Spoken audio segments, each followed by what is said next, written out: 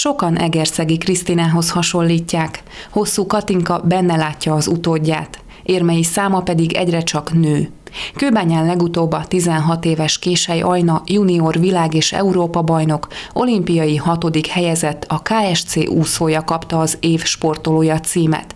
Az elismerést Kovács Robert adta át. Egy évvel ezelőtt egy olyan embert köszöntöttünk itt együtt, aki egy páratlan sportolói karrier tudhat maga mögött, világversenyek tucatjairól hozott érmeket, de kitartása, sportszenűsége, szakmai alázata, szerénysége és kedvessége volt az, ami őt, Imre Gézát igazi példaképpé emelte.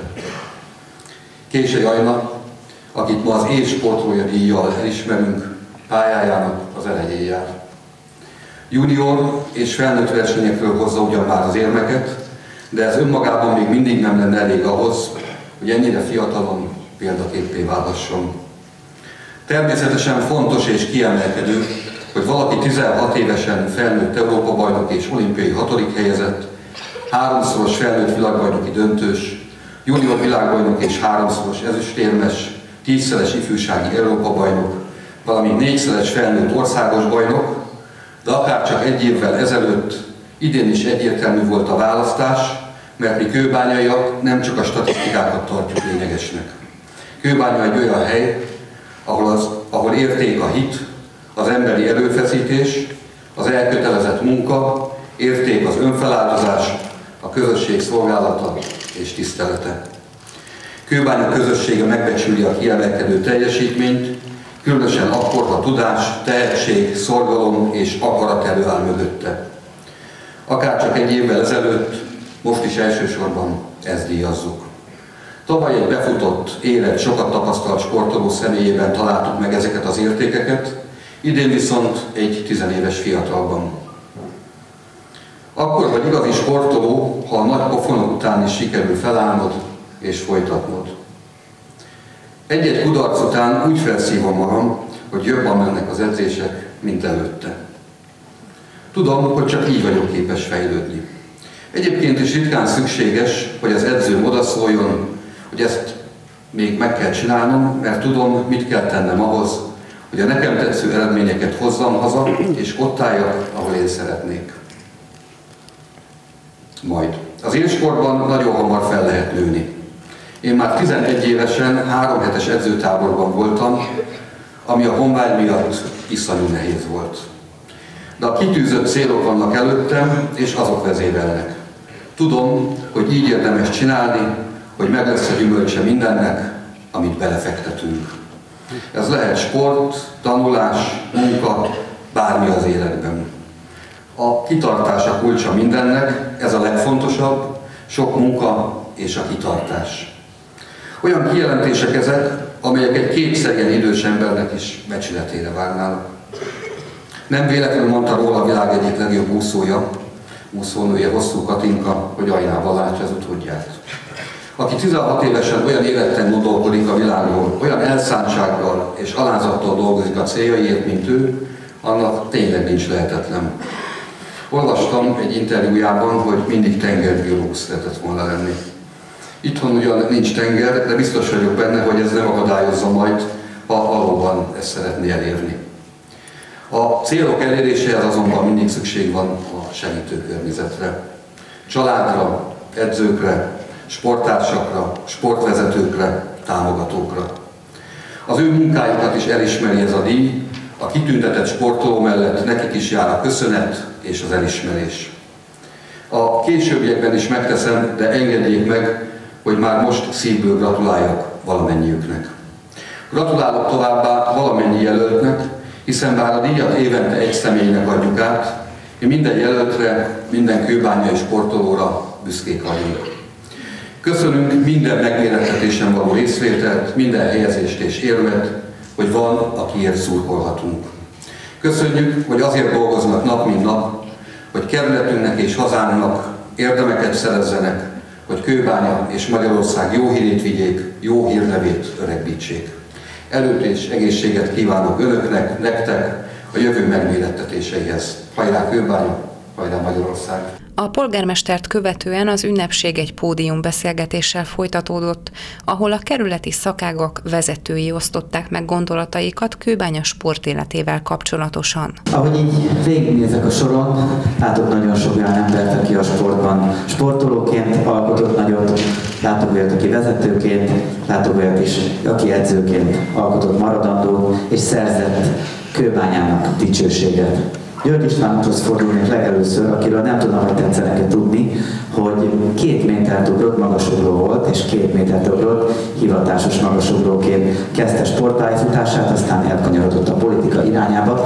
Hadd kérdezzem meg, hogy mit tudott hozni a sportból amit később a, akár politikusi pályán, akár egyéb területén az életnek tud alkalmazni. Mert nagyon sok sportoló szokta nyilatkozni, akik sikeresek lettek később a sportkarrierik után, hogy bizony nagyon sok alapot a sportból hoztak.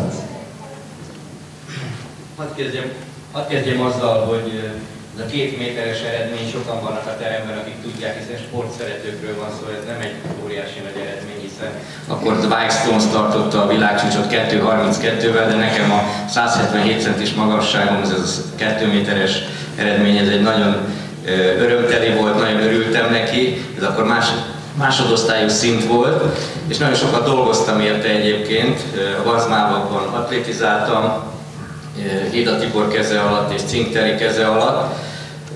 Nagyon sok mindent jelentett számomra a sport, és azt gondolom, hogy pont azoknak, akik itt ülnek, azoknak ezt nem kell elmondani. Viszont mindenkinek kell tudnia, hogy ahhoz, hogy egészségesen éljünk, ahhoz mennyit jelent a mozgás. És nem csak, nem csak ezt, hanem a sportolók különösen tudják, azok is, akik egyéni sportágat űznek, hogy fegyelemre nevel, önfegyelemre, a közösség szeretetére, még akkor is, hogyha egyéni sportolókról van szó, hiszen ők is azért együtt töltik az idejüket, és arra a kitartásra, arra a hitre, a kudarcok elviselésére, a sok-sok örömre, amit hozhat a sok munka. Úgyhogy azt gondolom, hogy az egy óriási öröm azok számára, akik sportolnak és rendszeresen teljesítenek is, mert ezeket az élményeket nehéz visszaadni. Több olyan sportoló van itt a teremben, akik világszínvonalon sportoltak, sportolnak. Nagyon nagy tisztelettel nézem őket, és elmondhatom, hogy az én életemben is nagyon sokat adott a sport, sokat adott a testnevelő tanári múlt. Tulajdonképpen elmondhatom, hogy talán 55 éves koromig éltem mindabból, amit előtte fölépítettem magamra, és hát bizony akkor már előjöttek olyan igények, hogy az embernek azért az ülő munka mellett nagyon jó, hogyha sportol, rendszeresen mozog, még ha nyilvánvalóan nem is tudja azt a terhelést elviselni, amit 20 éves korában, de feltétlenül szükséges, hogy a mindennapi mozgás meglegyen, mert az egészségünk ezt megszolgálja, illetőleg akkor tudunk minden tovább egészségesen élni, hogyha sokat mozgunk. Úgyhogy nekem nagyon sokat adott a sport is, és azt gondolom még egy szót hadd mondjak el, ami az egész életnek véleményem szerint a, az egyik legmeghatározóbb szava talán a szeretet mellett, és ez az alázat.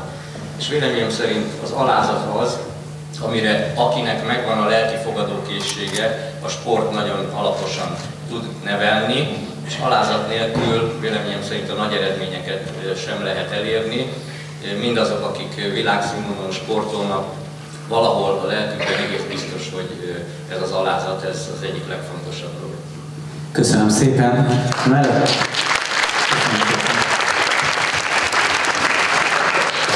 A mellettem álló úriember, vele sportoltam is együtt többször is, remek kosárlabdázó, remek szervező, és számomra mindig nagyon szimpatikus volt, hányszor csak jöttünk, emlékszem még a régi rádió csapatával a Tarazsak ellen játszani, időnként jól elvertek bennünket, de volt néha, hogy mi nyertünk.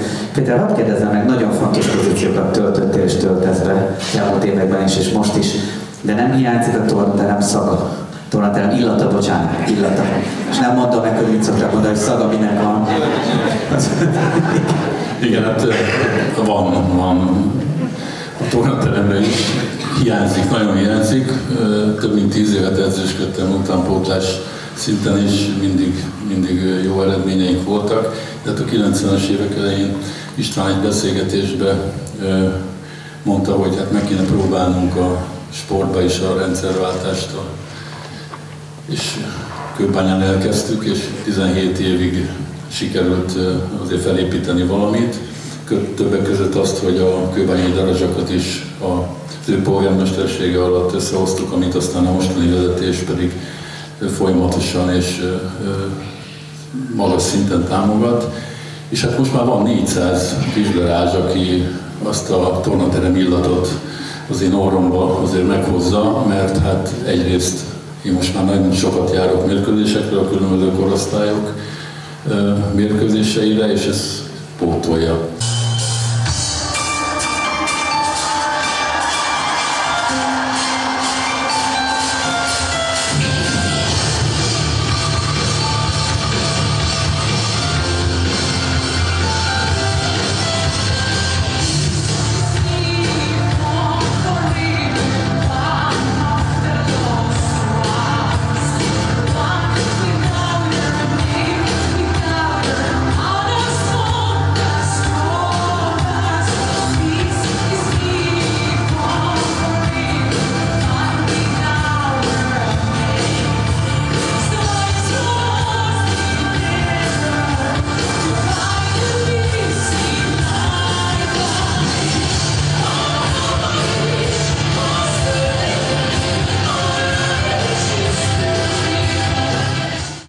2001. szeptemberében született, heti 10 edzése van, egy alapítványi gimnáziumban tanul, és a sport mellett 11 éves kora óta az agykontroll is fontos szerepet játszik az életében.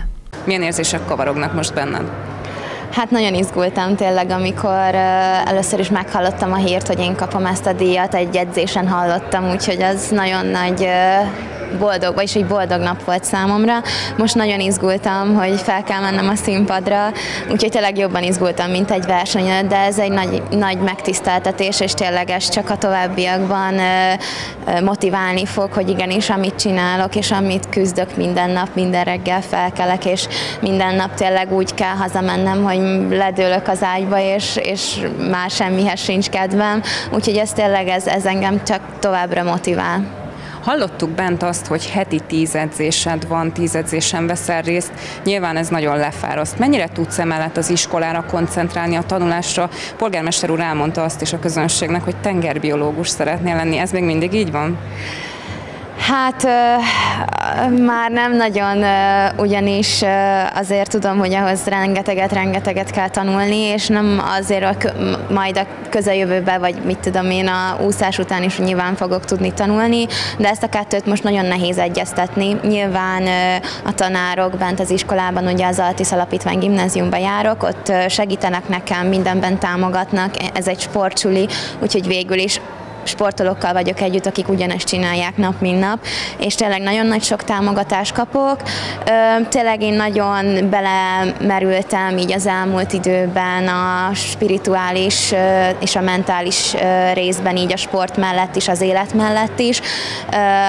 A mentális tréninget, az agykontrollt, amint mondták, hogy én elvégeztem, szeretném ezt tovább fejleszteni, és szeretném majd, majd esetleg úszás után, vagy esetleg közben, ha van rá időm, gyerekeknek esetleg tényleg bármikor tanácsot adni, és már voltam ugye egy ilyen előadás, vagy egy, adtam már elő gyerekeknek, hogy végül is milyen nap mint nap, tényleg minden napban a jót és a jót keresni, úgyhogy így végül is ezzel, ezen a például engem nagyon érdekel. Miért éppen ezen az úton indultál el, hol hallottál erről, és hogyan segíti ez ténylegesen a hétköznapjaidat? Ugye a nagymamám végezte el először ezt a felnőtt agykontrollt, ő azt mondta, hogy úristen, ez, ez, ez valami csodálatos. Én elvégeztem talán 8 éves koromban, anyukám jött el velem, szerintem ő körmölte a füzetbe a dolgokat, én csak úgy ültem és hallgattam, és semmi nem maradt meg. Majd rájöttem, hogy na jó, ez tényleg fontos, úgyhogy 11 éves koromban újból elvégeztem, és onnantól kezdve tényleg beívódott így az életembe, de hisz csak arra tanít meg egyetlen dologra, hogy, hogy mindig a pozitív dolgot lássuk meg mindenben, és pozitív gondolkodásra, úgyhogy végül is csak erre tanít meg, és onnantól te tovább fejlesztheted a dolgokat. Tehát, hogy, hogy ez az egésznek a lényege, de viszont azért vannak olyan dolgok, ami esetleg egy nehéz napokon, egy betegségen, egy, egy, egy egy sérülésen vagy bármi tovább fel lehet állni és tovább lehet küzdeni. Mire szoktál gondolni a vízben úszás közben, legyen az akár edzés, legyen az akár verseny?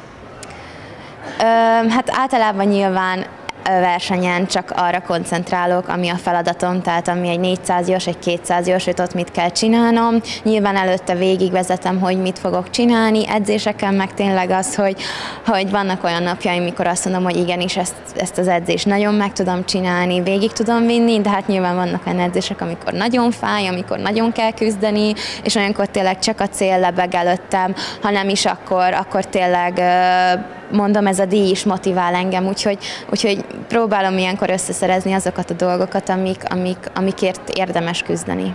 Hány órakor szoktál felkelni, és hánykor kerülsz ágyba?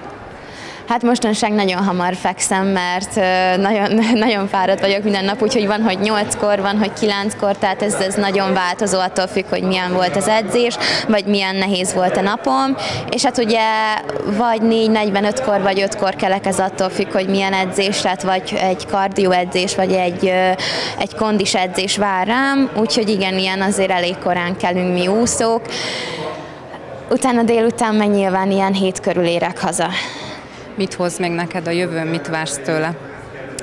Hát most ebben az évben gondolkozok csak, nyilván vannak nagyobb céljaim, de a legközelebbi célokat nézzük. Ugye most lesz a, a felnőtt országos bajnokság lassan 5 hét múlva, úgyhogy arra készülünk, most vár ránk egy amerikai edzőtábor, de ugye most idén lesz az ifjúság Európa bajnokság, az ifjú olimpia, felnőtt Európa bajnokság, úgyhogy lesz, lesz, lesz edzés és lesz verseny, és ugye az, if, az ifjúsági olimpia az meg októberben lesz, úgyhogy azért még azért sokáig, sokat kell még edzeni addig, hétig, és sok nehéz nap vár rám, de eközben boldog pillanatok is remélem, de tényleg ebben támogatnak a szüleim, az edzőm, Gyuri bácsi, akkor Gütler Karcsibá is, tehát nagyon sok támogatás van mögöttem, úgyhogy ez, ezek visznek előre engem.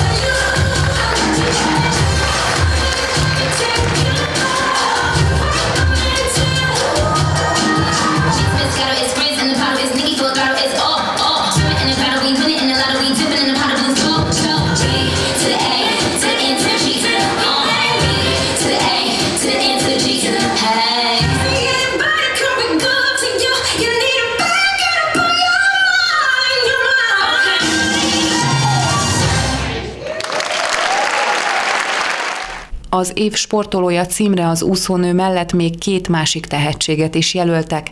Radványi Gábor a kerület sportért felelős alpolgármestere azt mondta, a kerületben valóban minden eredménynek örülnek, és el is ismerik azt. Idén három sportolót neveztek, az egyik Kései Anna úszó, a másik Szlávi Roland, aki vitorlázó, a harmadik pedig Sárkány Vivian, aki birkozó és szumozó. Tavaly több nevezés volt, idén csak három, de azt gondolom, hogy idén is jó kezekbe kerül Kőbány a kiváló sportolója díj. Hát Ajna még nagyon a karrierje elején áll, de azt tudni kell róla, hogy már a felnőtt mezőnyben is versenyez, viszont nincs olyan díj, amit ne nyert volna meg ifjúsági vagy serdülő szinten, hiszen ifjúsági világbajnok, olimpiai bajnok, ifjúsági szinten Európa bajnok természetesen, világbajnoki bronzérmes már a felnőttek között, és a vizes vb is hatodik helyezést ért el. Úgyhogy azt gondolom, hogy ő a, nagy, ő a jövő, nem véletlen, hogy Egerszeg Szegi Krisztina, ötszörös olimpiai bajnokunk is azt mondta, hogy Ajna, Ajna az, aki a magyar úszósportnak a egyik csillaga lehet rövid időn belül. A mesteredzője szerint már akár a Tokiói olimpián is komoly lehetőség előtt áll. A kiváló eredményekkel rendelkező Kései Ajnának legközelebb a felnőtt országos bajnokságon, ifjúsági olimpián, de még a felnőtt Európa bajnokságon is szurkolhatunk majd.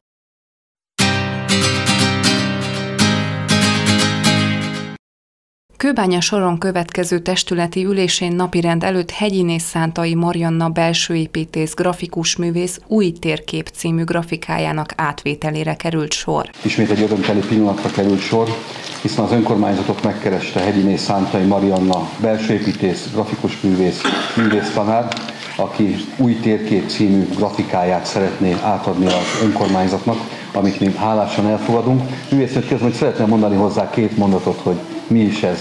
Egy vendégmikrofont szeretnék kérni. Ez egy olyan grafika, ami akkor készült, amikor a Újhegyi Közösségi Ház átadásra került. A kőbányai képző és tagja vagyok, és nagyon régóta, 30 éve körülbelül itt lakunk Kőbányán, a családommal, hat gyerekünk van, és szemmel láthatóan csodálatosan fejlődik Kőbánya, és nagyon hálás vagyok, hogy nyilván a vezetés és a munkatársak segítségével ennyi gyönyörűség alakul. Figyelemmel kísérem a, főleg a Kőbánya híradóban az eseményeket, és most úgy éreztem, hogy ez a kép, ami megszületett, ez egy ilyen közösségi térbe való, és hálám jeléül, mert nem tudom hányan jönnek ide megköszönni, de én nagyon hálás vagyok, hogy egyre szebb kőbánya, és örömünk van benne. Ennyi. És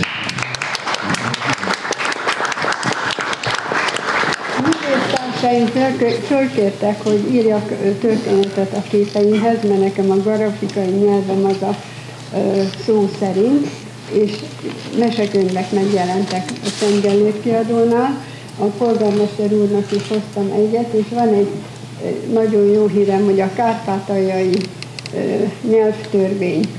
Ugye nagyon kellemetlen érinti a magyarokat, és a Máltai Szeretetszolgálat felkért, hogy megengedjem, hogy kinyomtassák azt a kis mesekönyvet, és 2000 példányban minden kárpátaljai kisgyerek megkapja, és ezért kaptam én is ajándékba, és gondoltam, hogy pihentető relaxációnak olvassa el, akinek jut. Ennyit akartam csak, és köszönöm. Nagyon szépen köszönjük. És egy csokor világról köszönjük meg, és kívánjunk még további jó egészséget, és nagyon sok olyan alkotó gondolatot, amit utána köszönhetünk is. Köszönjük szépen. Köszönjük szépen. Mindenkinek a munkáját. Köszönjük szépen.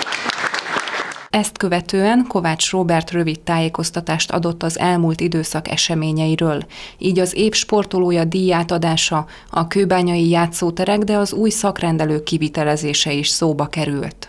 Még tavaly döntöttünk arról, hogy a 2017-es év kőbányai sportolója Kései Ajna legyen. A Kőbánya Sportklub úszóműhelyének fiatal tehetsége, aki át is vette a díjat a Körös Kulturális Központban rendezett gálán, egy nagyon szép ünnepség keretében. Ajnának még egyszer gratulálunk, következő edzőtáborhoz jó felkészülést kívánunk, mert megosztotta velünk, hogy bizony-bizony neki a napi két edzés, ami heti tíz, tíz edzés az, az életformát jelenti, de a sikerért és azért, hogy eredménye jussunk, azt gondolom mindenkinek meg kell dolgozni. Szeretnék arról is tájékoztást adni, hogy egy korábban beadott pályázatunk, amit a Nemzeti Fejlesztési Minisztérium kiírására adtunk be, és 10 kőbányai játszótér, sport tér megújítását célozta, támogatásban részesült. Két helyen, és szerencsére az egyik helyen a nagyobb létesítményt valósíthatjuk meg a Csitode utcában míg a Medvesző utcában egy kisebbet támogatást nyert, és amint megkötjük a szerződést, illetve aláírjuk a támogatói okiratot, elkezdődhet az a munka, amelynek keretében e két térség is fejlesztésre kerül. Szeretnék arról is tájékoztatást adni, hogy az új szakrendelő építési engedélye megvan. Folyamatban van a közbeszerzés a kivitelezésnek. Ennek a várható lezárása az március végére időzíthető. Jelentős fejlesztésnek nézünk elébe. Az önkormányzat annak érdekében, hogy a parkolási helyzetet a környéken rendezze, kijelölt olyan területeket, ahol közterületen tudunk parkolókat képíteni, erre a, a tervezési munka megindult, a költségvetési fedezet rendelkezésre, és sikerrel jártunk a Sibrik Miklós úton, egy telket sikerült az önkormányzatnak birtokba venni mára, és ott további közel 100 félhelyes parkolót tudunk majd kialakítani, hogy a környék parkolási gondjait enyhítsük. Szeretnék arról is tájékoztást adni, hogy a régen tervezett és a tavaly évben a halottak napjának időszakában kipróbált ingyenes szociális taxiszolgáltatás már a rendszeressé vált. Mindazokat, akik rászorulnak, nem tudnak hivatügyeket intézni, nem tudnak más szolgáltatásokat elérni, mert mozgásukban akadályozottak, eljuttatjuk az adott célhoz. Erre jelentkezni a bárkánál lehet, erről minden információ megjelent az önkormányzat honlapján, illetve széleskörű tájékoztást adtunk mint ahogy megkérdettük, az önnek is szeretnék világot adni című akciót sokadik alkalommal. Március 23-áig lehet benyújtani a pályázatokat, kérem képviselőtársaimat, hogy hívják fel a környezetükben élők figyelmét arra, hogy éljenek a lehetőséggel, mint ahogy biztatok mindenkit arra is, hogy képviselőket is, hogy csatlakozzanak a Mozdulj Kőbánya programhoz.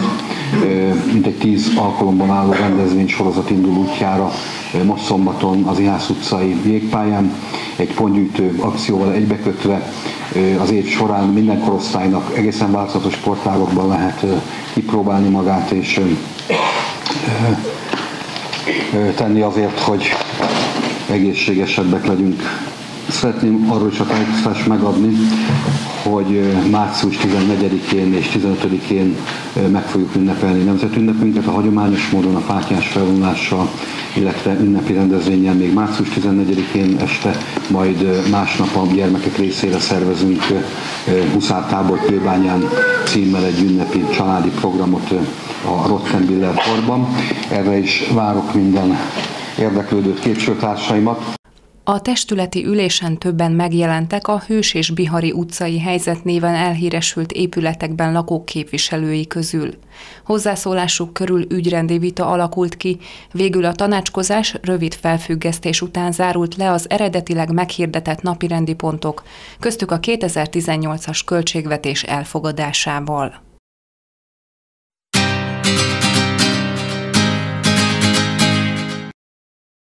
Magyarországon a legnagyobb lélekszámú kínai közösség Kőbányán él.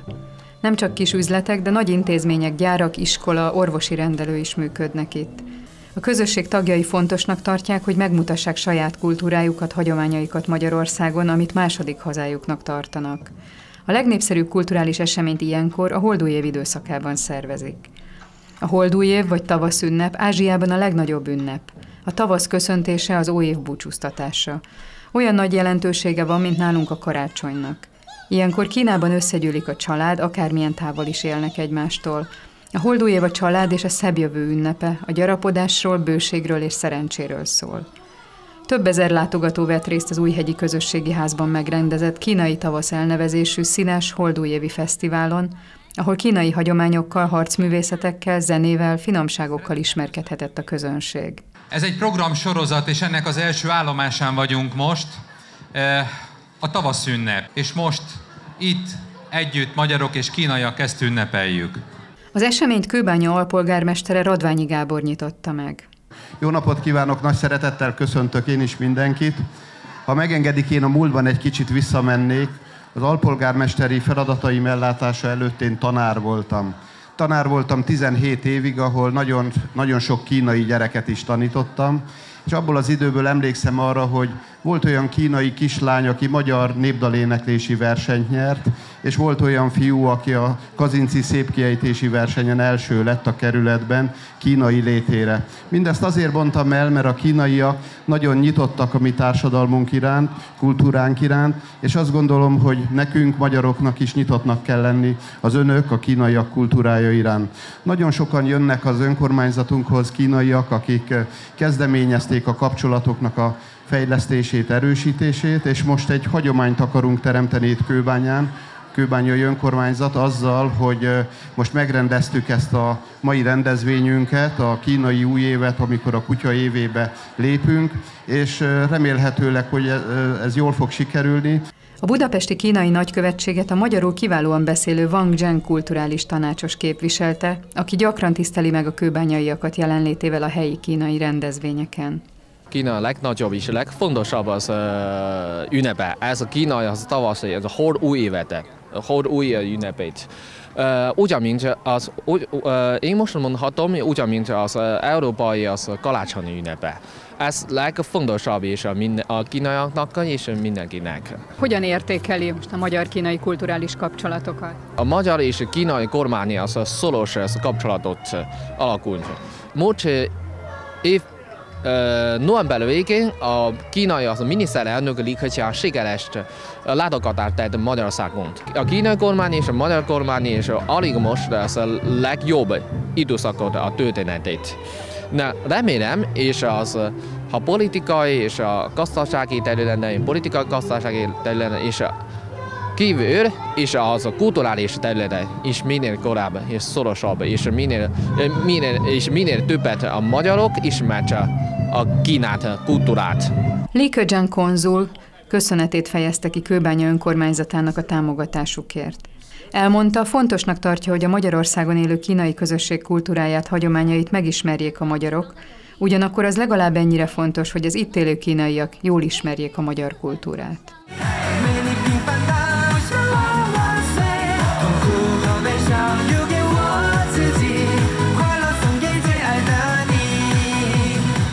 A látogatókat színes kulturális program, táncok, zenék, teakóstoló, papírkivágás, kalligráfia, oroszlántánc, valamint harcművészeti és tájcsi bemutató várta.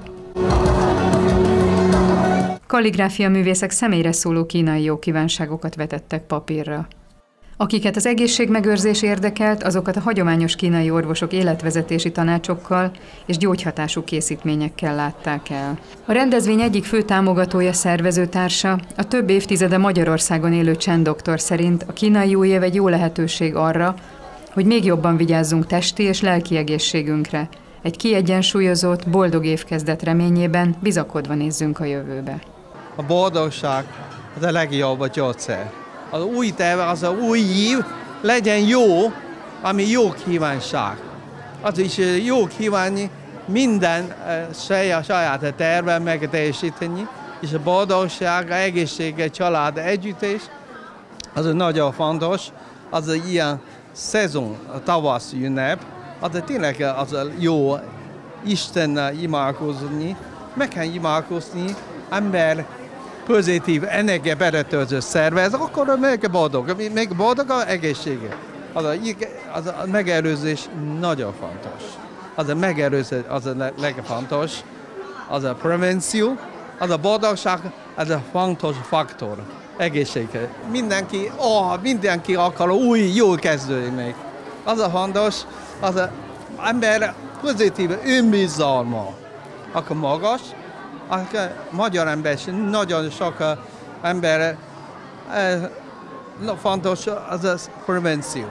Minden egymásig tudja, gyógyszer nem minden segít minden, ha saját önerő, öngyógyítás, önbizalma és önboldogság a legjobb az a új év, új év bekezdékkor. A rendezvény szervezői a kínai kultúrával ismerkedő magyarokat is bevonták a programba, magyar művészek és alkotók is felléptek. A kínai tavasz rendezvényt a Magyar-Kínai Kulturális Egyesület szervezte.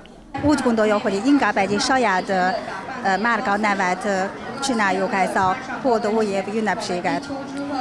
Hát a saját erővel nehezen létrehozni egy ilyen nagy szabású rendezvényt. Mi alapítunk ezt a proformat, és mindenki együtt gyűlünk, és mindenki együtt uh, ünnepeljük, együtt szervezünk. Idén is nagyon nagy támogatást kapunk a, kaptunk a tizedik kerület önkormányzattól, uh, meg uh, becséstől és úgy gondoljuk, hogy, hogy inkább ez a három helyszínen is, is rendezünk ezt a programot. Minél több magyar ismerik a kínai kultúrát, közben a magyar kultúrát is közeljük a magyar kultúrához. És a mind a három helyen nem csak a kínai művészek lépnek fel a színpadon, hanem a magyar művészek is fog fellépni a színpadon. Szóval úgy az a célja, hogy kölcsönösen ismerjük egymást, mivel több éve írunk itt Magyarországon, muszáj beilleszkedni a magyar társadalomba. Ez, ez, ez egy lehetőség, hogy, hogy jobban, jobban ismerjük egymást, adunk ezt a lehetőséget mindenkinek. A kínai tavasz márkanév jól vizsgázott. A rendezvénysorozat sok ezer érdeklődőt vonzott, jövőre ismét találkozunk.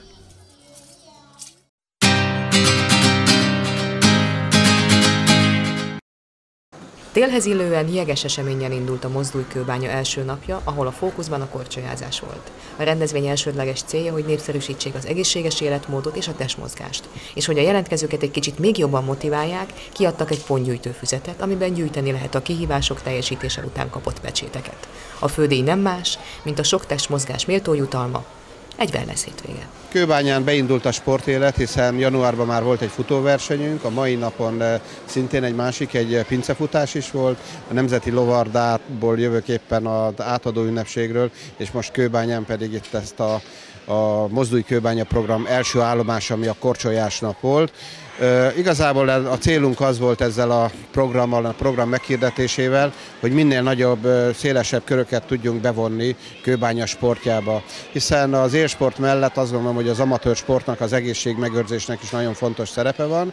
Ezt gondoltuk, és, és most megpróbáltuk valamilyen módon motiválni is kőbánya lakosságát, hogy, hogy sportoljanak, mozogjanak, hogy mozdulj kőbánya. Ezért ez az elnevezés is.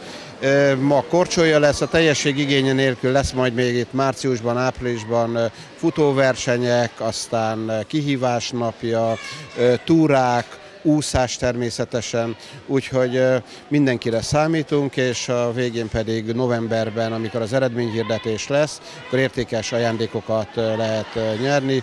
A fődíj egy wellness hétvége lesz, de minden mellett majd majd értékes belépőjegyeket, sport, akár MB1-es, OB1-es versenyekre belépőket, bérleteket fogunk kisorsolni, illetve ajándékozni, valamint különböző tárgyi nyereményeket, bicikliket, sporteszközöket. Úgyhogy nem elsősorban az a ajándék vagy a nyeremények miatt mondom, de mindenki mozduljon és jöjjön és sportoljon a kőbányán kitaláltunk egy füzetet, egy pecsételős füzetet, amit minden egyes rendezvényen, amelyiken részt vesz a, az adott sportoló, lepecsételhetik a végén, amikor teljesítette ezt az akadályt, vagy ezt a fordulóját ennek a kőbánya, mozdulj kőbánya programnak, és a végén pedig ezeket a füzeteket ezt beadják, azt a Kocsi Sándor Sportközpontnak a, kollégái ellenőrizni fogják, és azt szerint aztán a sorsoláson, hogyha olyan sokan vannak, akkor sorsolásos részt vesznek. Valaki minden részt vesz, annak jó esélye van, hogy hogy értékes nyeremény, ajándékokat nyerjen. És hol lehet hozzájutni ezekhez a füzetekhez? Ezeket a füzeteket minden egyes egyes ilyen fordulóban, tehát a Mozdulj Kőbánya program különböző programjain is meg lehet kapni, Kőbányi önkormányzatnál, a Kocsis Sándor sportközpontban is, és hogyha valaki nem jut hozzá, akkor igényelheti a honlapokon keresztül is, vagy akár tőlem, mint sportérfelelős alpolgármestertől is kérhet, akkor, hogyha ír nekem, vagy telefonál, természetesen eljuttatjuk az érdeklődőknek ezt a pecsételős füzetet. Hál' Istennek egyre népszerűbbek a jeges sportágak. Itt nálunk Kőbányán elsősorban a jégkoronggal, körlinggel és a közönségkorcsolyázással foglalkozunk. A mai nap ez az első állomása volt ennek a sportnapnak, és két-háromszáz ember volt itt a csúcsidőszakban, aki kipróbálta a jégkorongot, a korcsolyázást, a körlinget, és nagyon jól érezte magát. Általában mik a tapasztalatok, hogy mennyire látogatott ez a hely? Mennyire szeretnek korcsolyázni az emberek nyilván szezonban? Szerencsére nagyon látogatott a főszezon a közönségkorcsolyázás szempontjából, az a december és a január, de mi egész évben dolgozunk itt Kőbányán, tehát októbertől már a jégkorongozók és a korcsolyázók elkezdik itt a munkát, sőt már előtte mi szeptembertől már dolgozunk, és a jeges szezonunk az októbertől áprilisig tart, utána átépítjük a pályát, és egy görhoki pályát teszünk föl, ahol görkorcsolyával tudjuk hasonlóképpen űzni ezeket a sportágakat. Általában a jeges sportákban elért nemzetközi sikerek mennyire tapasztalják, hogy egy kicsit megnyomják az érdeklődők számát? Ezek mind minden sportákban húzó ágazatok, azok megnyomják, hogyha van egy kiemelkedő eredmény. Gondolok itt, amikor a jégkorong válogatott 2009-ben Svájcban felkerült az A csoportba, az egy nagyon nagy lökést adott akkor is, utána azóta még egyszer felkerült a jégkorong, és most a napokban pedig egy nagyon nagy siker volt a gyorskocsolyázók körében a, a téli olimpián a legelső magyar aranyérmes sikerült megszerezniük, úgyhogy én azt gondolom, hogy ez megint felhívja a figyelmet arra, hogy korcsolyázni jó és érdemes. Gondolom gyakorló korcsolyázóval állok szemben. Meg lehet fogalmazni, hogy mi a legjobb a jégen levésben? Hát nagyon röviden nem, ez egy hosszabb beszélgetést igényelne, de ha az alap dolgoktól kezdjük, az az, hogy egy olyan idegrendszeri hatás ami egy instabil környezetbe kell egyensúlyozni az embereknek, ami nem csak a fizikálisan megmozgatja az összes izmot, hanem az idegrendszert is nagyon szépen fejleszti. Egy olyan környezetben vagyunk, ahol gyakorlatilag a, a vírusok meg a baktériumok nem szeretnek lenni, mert egy, egy nulla fok közeli hőmérsékleten vagyunk, a jég az mínusz 6 fokos, tehát ez a légúti problémákkal küzdőknek egy nagyon jó lehetőség, hogy itt kitisztítsák a tüdejüket és, és megerősítsék az immunrendszerüket is. És ezek kívül még tudnék sorolni számtalan dolgot. Meg talán az, hogy az ember egészen másfajta, uh, hú, ezt hogy fogalmazzam meg, Hát nyilván nem, egy olyan fajta haladásban, vagy olyan fajta mozgásban vesz részt, ami a hétköznapi mozgásnak nem a sajátja. Tehát tulajdonképpen önmagán túl tud lépni egy picit. Ez így igaz, ez, ez egy másik közeg, tehát hasonlítani lehet az úszáshoz. Igaz, hogy egy szilárd halmazállapotban vagyunk, nem a, nem a folyékonyban, de egy teljesen más közegben kell ö, azokat a mozdulatokat megcsinálni, ami mondjuk a szárazföldön evidens, de nyilván a jégen ez, ez egy teljesen más mozgáskultúrát kíván meg. Tulajdonképpen önmagunk határainak a feszegetése vagy kitágítása is lehet egyben? Természetesen ezt beszélhetünk itt a, a legegyszerűbb közönségkorcsolyázásról, aztán, hogyha a jégkorom irányába megyünk, ott a határa csillagoség, tehát ez az egyik legbonyolultabb sportág, ami nagyon összetett, nagyon, nagyon oda kell figyelni fejben is és fizikálisan is.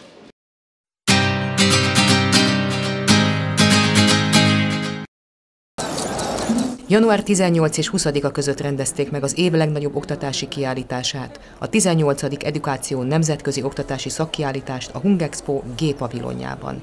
Idén a tavalyi évhez képest 20%-kal több, vagyis összesen 150 kiállító is stand képviseltette magát. A szemle elsődleges célja az, hogy összekapcsolja az oktatási intézményeket a diákokkal, oktatókkal, szülőkkel, és megválaszolja a felsőoktatással kapcsolatos kérdéseket. Igazából a, az elmúlt évek során az eszközök azok maradtak, tehát valamivel megpróbálják a standhoz csábítani az embereket, csak maguk ezek a tárgyak, vagy, a, vagy azok, a, azok a szolgáltatások, amiket kínálnak, ezek változtak meg. Tehát a, a kezdetekben mondjuk a kis cukorkákat, a kis logozott cukorkákat felváltották a tollak, nyakpasszok, különféle ajándéktárgyak, és most már egészen a, a csoki, kávé vagy valamilyen üdítő osztástól elkezdve akár mini robotokat lehet nyerni az egyes standokon, hogyha valaki jelentkezik, vagy oda megy a standhoz és érdeklődik a képzésről. Azt gondolom, hogy ez mindig jelen volt az ilyen kiállítások világában, csak esetleg megváltoztak maguk a tárgyak. Van, ahol például szimulátorozni lehet, vagy éppen kipróbálni egy VR szemüveget, egy kicsit alkalm, alkalmazkodnak a kiállítók, ez nagyon jó ezt látni, hogy a verseny az éles, egyre élesebb, és, és alkalmazkodtak ahhoz, ami a modern valóság adta a lehetőségek kínáltak számukra. Az oktatási intézményeken túl még informatív jellegű standok is vannak. Milyen típusú ilyen információs lehetőségeik vannak itt a diákoknak? Miket tudhatnak meg, ami fontos?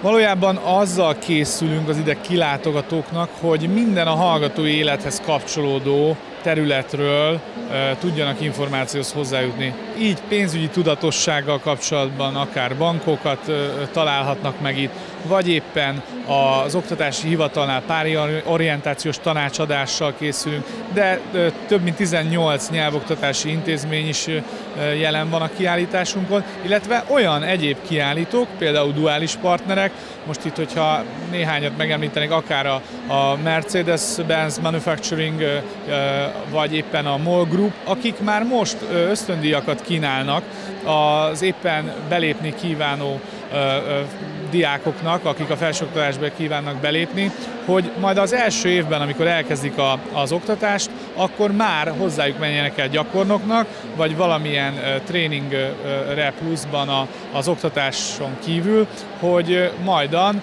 később őket egyből fel tudják venni és alkalmazni tudják. Tehát egy kész munkaerő álljon rendelkezésre, amikor végeznek a képzéssel. Jelenleg ugye a kiállításnak a második napján vagyunk, úgyhogy csak átmeneti számokat tudunk mondani. De amiket jelenleg tudunk, hogy hány stand, hány kiállító stand van, és az eddigi látogatottsági adatok milyenek? A kiállításon 150 kiállítói stand van most jelenleg, ez körülbelül egy olyan 20%-kal több egyébként, mint az elmúlt két évben, ez is egy pozitívum, illetve a látogatók tekintetében a tegnapi napon az adott napra vonatkozó rekordot megdöntöttük, tehát gyakorlatilag azt lehet mondani, hogy 18 ezernél is többen vettek részt tegnap a kiállításon, hogy bízunk benne, hogy meghaladjuk ezt a 43 ezeres tavalyi, tehát 2017-es látogatói számot. Van valami maximális napi befogadókészsége a helyiségnek? Mivel a, a látogatók azt lehet mondani, hogy körülbelül olyan másfél és két és fél óra között töltenek itt el időt, ezért nem tudok ilyet mondani, de hát ki, le, ki lehetne számolni. Az egyidejű befogadási kapacitás az, az természetesen ennél sokkal kisebb, tehát a, a, a 18 ezres szám az egy ilyen átmenő forgalom, tehát vannak, akik érkeznek, vannak, akik távoznak. Mi ezt a biztonsági szolgálat folyamatosan monitorozza, figyeli, és ők ezt a helyzetet ezt figyelemmel kísérik, és amikor kell, akkor beavatkoznak gondolom minden, minden évben az adott év tapasztalatait beleépítik az elkövetkezendő évnek a szervezési munkálataiba. Vannak olyan idei tapasztalatok, amik most látszanak, hogy valamiféle változást kell hozni a következő évben? Egyrésztről az, hogy ennél több kiállítót már nem tudunk fogadni, csak hogyha bővítünk a területen. Nagy szerencsénk, hogy a Hung Expo-n azért vannak ennél nagyobb csarnokok is, úgyhogy van hova fejlődni, illetve bővülni, és akkor Hát ezen kívül még amit szeretnénk változtatni, az két dolog talán, amit kiemelnék.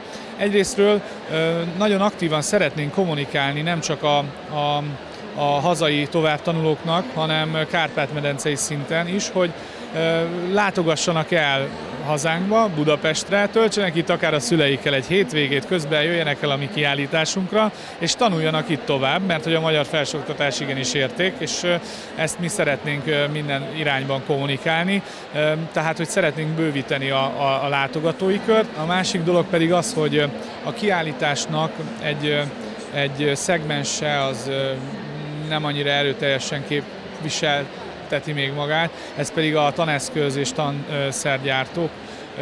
Ezen a téren is szeretnénk bővíteni, még több innovációs és tehát még, még több újszerű megoldást bemutatni az ide kilátogató pedagógusoknak. Jelenleg is vannak ilyen kiállítóink, de szeretnénk ezt a kört bővíteni. A hallgatókat talán azzal tudjuk leginkább megnyerni, hogy az egyik legbiztosabb munkalehetőség a, a jövőt tekintve, hiszen rendkívül kevés tanár jelentkezik, és megpróbáljuk minél jobban színesíteni, hogy megéri pedagógusnak lenni, és felelősséget vállalni a jövő generációjának nevelésében. Fontosnak tartjuk, hogy megjelenjünk, hiszen rendkívül sok diákkal és szülővel találkozunk, és nagyon sok pozitívumot tudunk elmondani, hogy miért a PTR-re kellene jönni, hiszen úgy gondoljuk, hogy Magyarország első egyeteme, és nagyon sok pluszt tudunk nyújtani minden hozzánk látogatónak.